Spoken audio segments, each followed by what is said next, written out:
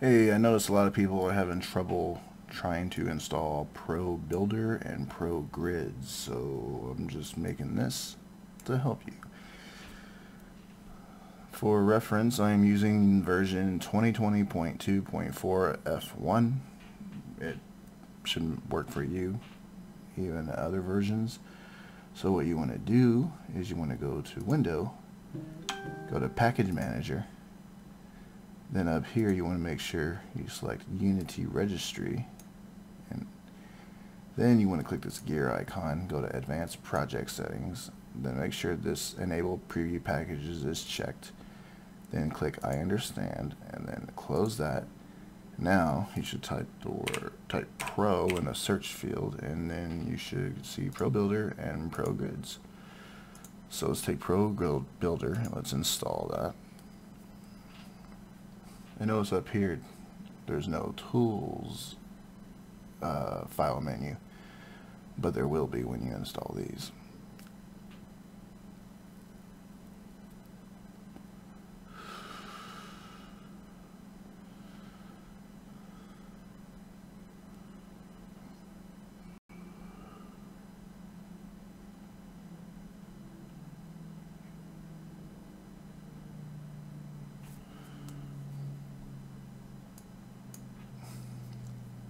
It might take a while to install.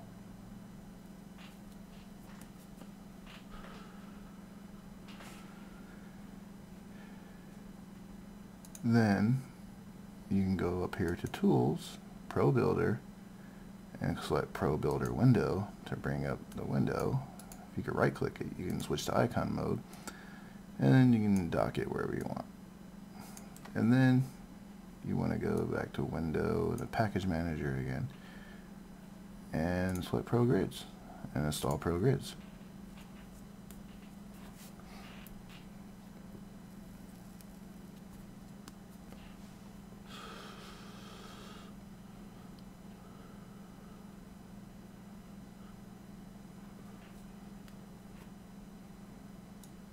Alright, once that's done, it might automatically pop up, but if not, you can go to Tools, ProGrid, and ProGrid's window, and then this will pop up as well as this.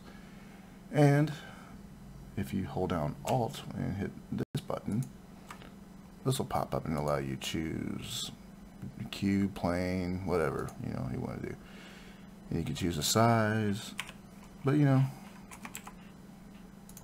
also if, if you just build it and you want to change it, that's fine up here you can choose the face tool select your face and you can bring it out you know or whatever.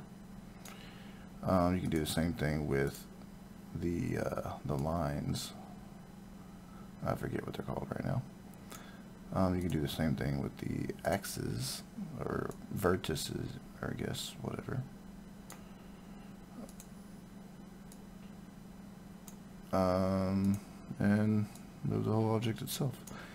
And notice how it's moving half a grid space at a time. You can adjust that up here, change it to one and do one grid at a time or whatever. Usually stick with 0.5 by default. And that's pretty much it. That's how you do that. Thanks for watching. Later.